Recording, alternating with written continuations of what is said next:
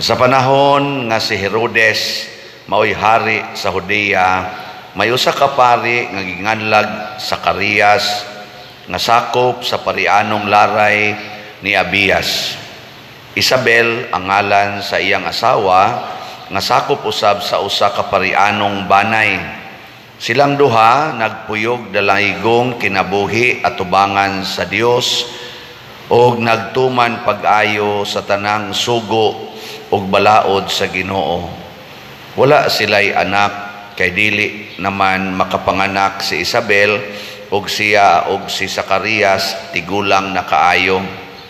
Usa ka adlaw ni ana nagtuman si Sakarias sa iyang katungdanan pagkapari at tubangan sa Dios diha sa bahin sa pag-alagad nga iyang angkon adlaw-adlaw. Sumala sa batasan nga gisunod sa mga pari napili siya pinaagi sa ripa sa pagsunog sa insenso didto sa halaran. Busa misulod siya sa templo sa Ginoo samtang nagampo ang panon sa mga tao didto sa gawas sa takna nga gisunog ang insenso. Unya usa ka anghel sa Ginoo mipakita kaniya nagtindog ang anghel sa tuo sa halaran diin gisunog ang insenso. Sa pagkakita ni Sakaria sa anghel, nalibog ug nahadlok siya. Apan giingnan siya sa anghel, ayaw kahadlok sa Sakarias. Gidungog sa Dios ang imong pagampo ug ang imong asawa nga si Isabel muanak og lalaki. Nganli siyag Juan. Ini katao niya magmaya ka og malipay ingon man ang uban kay mahimo siyang dako at tubangan sa Ginoo.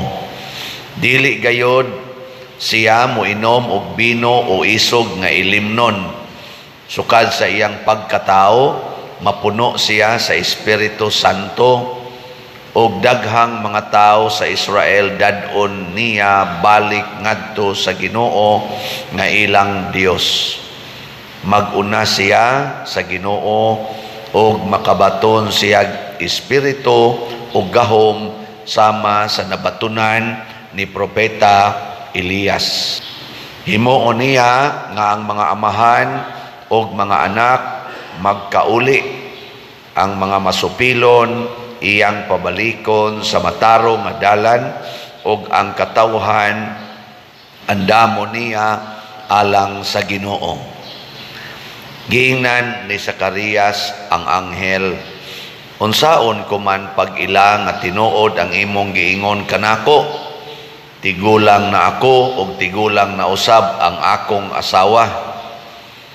Ang anghel mitubag, ako si Gabriel nga nagtindog atubangan sa Dios nga maoy nagpadala kanako aron pagsulti ug pagtaho kanimo niining maayong balita apan wala ka mutuo sa akong mensahe nga matuman gayod sa hustong panahon. Ug tungod kay wala ka man mutuo maamang ka. Dili ka makasulti hangtod sa adlaw nga matuman ang akong gisaad kanimo. Nining higayuna naghulat ang mga tao kang Sakarias og nahibulong sila nganong Nadugay siya kana kaayo sulod sa templo. Sa paggula niya dili na siya makasulti kanila busa nagtuo sila nga nakakita siya pananawon sulod sa templo. Ug tungod kay dili man siya makalitok bisag usa ka pulong misinyas na lamang siya kanila. Pagkatapos sa iyang turno sa pag-alagad sulod sa templo, mipauli si Sakarias sa ila. Wala madugay, nagmabdos ang iyang asawa nga si Isabel ug wala mobiya sa balay sulod sa lima ka bulan. Mingon si Isabel, karon mitabang nagayod kanako ang Ginoo niining paagiha. Gikuha niya ang naghatag kanako kaulawan at tubangan sa mga tao. Ang ebanghelyo sa Ginoo.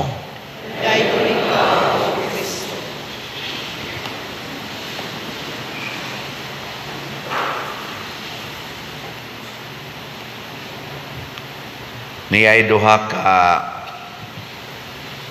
pamilya starring sa atong pagbasa o sa atong ebanghelyo. Ang unang pamilya dili kayo tiguang ang pamilya ni Manoah niya iyang asawa dili makaanak. Niya say pamilyang usa mga tiguang mga tiwasonon lingi ako ng imong tupad unsa man. Batanon pa na o tiwasonon si Zacarias o si Isabel.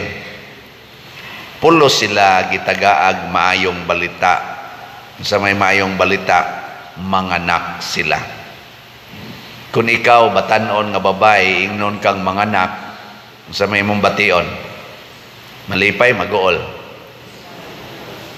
kusga Karang bago mong minyo ba? Nga ingon yun, mabdo, magmabdos ka sunod tuig, malipay ka, mag-uol. Unyag dugay na mong minyo, inyong edad, mga 75 na, 70, nya ingnon ka, wadyo mo'y anak, nya ingnon ka nga, magmabdos ka sunod tuig, malipay ka, mag-uol. nganong ako may inyong tanawon nga ganaganing igo ra man ko nangutana kay di man ko makaanak. Na pwede mo pa anak kung mo kumpiyansa pero kanang di ko ka, kaanak.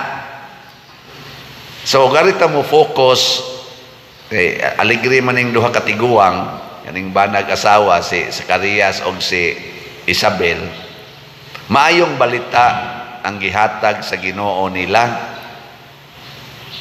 pero nahimong daotang balita sa usa nila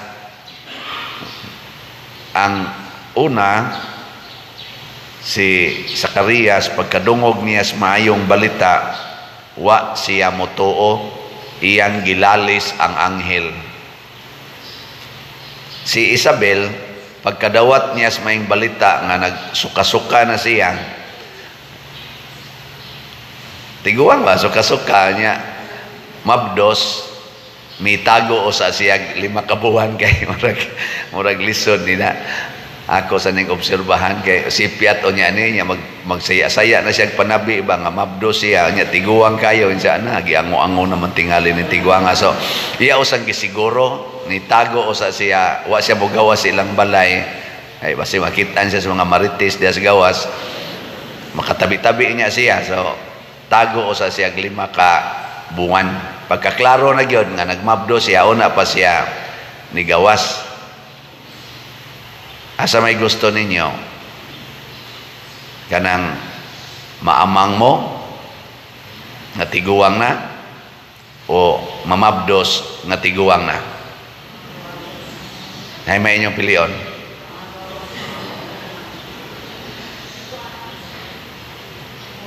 Kaya ba tiguang na ka ba? Sa gusto nimo maamang ka o mamabdos?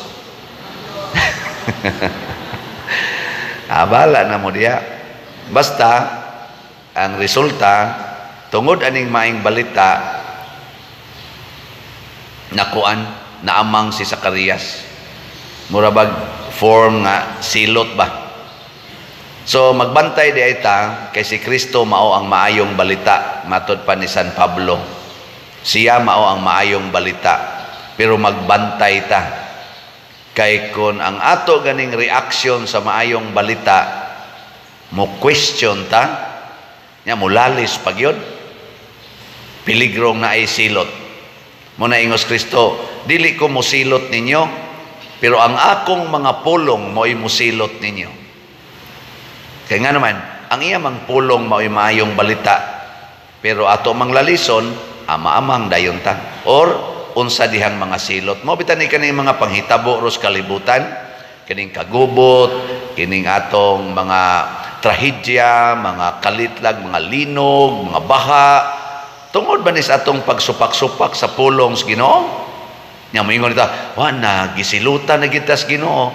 Wa oy Ni Asya aron pagluwas mao nay maayong balita. Pero ang problema mudawat batas iyang mga pulong. Ah, nilalis mas Sakarias. Aperting pagkaamanga. Ah, pananglitan. Nagsugo din Ginoo anang graft and corruption. Nagsugo Ginoo na. Nya waroy graft and corruption sa kalibutan. Why graft and corruption diri sa Pilipinas? Na, ah, o tanawa, di ba na naglisod? Kanang mga nasod nga naay graft and corruption, magkalisod ginang mga tao. Moro ginailhanan. Nagsugo din ginoo pag pinatyanay ka mo. Wow, eh. Agisupak man, ay gubat ang mga nasod, sa mas Russia o sa Ukraine, niya unsay resulta. Perting lisura na to. Murot gisilutan. Hastagod din simbahan mo. Gamay ang kulikta. ang ang mag-imong ihog kulikta, ipalit lang na nimong bugas. Ting mahalas gasolina karon Mahal pang kilos bugas. Mao na ba resulta ni sa pagsupak-supak sa pulong sa Ginoo? Sugo des Ginoo nga kamo mga laki pag-unay mo. Kamo mga babae pag-unay mo sex. Sugo na dili. O tanawa, di ba mo na usas mga dagkong hinungdan nga ni kuyanap ang AIDS? Kana bang sakit nga AIDS? Tungod man na ana. Kanang prostitusyon. Waman magsugong ginawa na. Mamuta na mga bana, ma-AIDS, yawa ning AIDS pa rin ako. Di man ka ma-AIDS, basta anhara dyo kasi imong asawa. Pero mutilaw-tilaw ka ng uban nga nindot tanahon, pero dunot na di ay, ma-AIDS gyud ka. May paring-karing luod tanahon, pero presko di ay. ah, kanang, ana ba? Muna nga importante kayong kamautang mutuman sa pulong sa Ginoo. Unsaon man nato pagtuman? kinahanglan nga giyahan ta sa Espiritu Santo. Muna si San Juan, pagkatao na kaning anak nilang Sakarias, napuno sa Espiritu Santo. Si Samson sa pagkatao niya, napuno sa Espiritu Santo ug pulos sila nakahatag og maayong epekto sa nasod sa Israel ug sa kalibutan.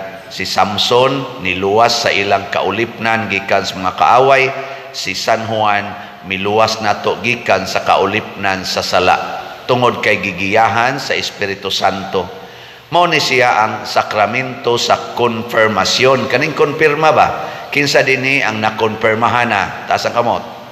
Kanang kaybaw kang ikonfirmahan ka. Na, wa kaybaw ang uban. Bakonfirma na mo. Kay kanang sakramento sa konfirma, usa na siya ka sakramento aron pagpa-active sa Espiritu Santo din hinato aron molihok ang iyang pito ka mga gasa. Pito. Seven gifts of the Holy Spirit. Ang gauna diha wisdom. Ang nakuwang karon ni Zacarias wisdom. Unsa man ang wisdom? To know to determine to have a certainty kanang maka siguro ka nga kini gikan sa Ginoo. Makasiguro ta nga kabubuton is Ginoo. Wisdom na. Di na ma-explain sa atong reason. Mo na si Zacarias ni gamit mag-reason di man wisdom ah, gi-question niya ang kabubuton sa Ginoo. Si Maria naggamit og wisdom. Pag ingon mamabdos ka bisag wa ka hilabtig laki pagkaingon niya ah Ginoo gyud gasulti matuman imong pagbuot Ginoo gyud gasulti Ug moingon ang Ginoo karon mamatay ang imong anak bisan og wa nay sakit. Unsa may mo isulti? Isip kini kanan. Kanang imong anak mamatay na karon bisag way sakit. Unsa imong isulti? Og reason imong gamiton, maingon ka, ha? Ayaw Lord, uy kabuutan ana Lord, bugtong biyan na akong anak. Unsa man sa taong ka Lord, uy perti na kong pangayo ana nya imong mambatyon reason, emotion. Pero wisdom, oh, Lord, kung imong pagbuot, matuman. Ug mao nay gibuhat ni Abraham ang iyang 12 anyos nga bugtong anak si Isaac, giingnan siya sa Ginoo, ihawa ang imong anak og sunuga isip halad ngadto nako adtong bungtod dito pikas iyang gituman.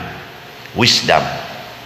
Moingon ang Ginoo ron, kamong mga manag-uyab, ayaw mo pag hinikapay, tinanaway lang mo.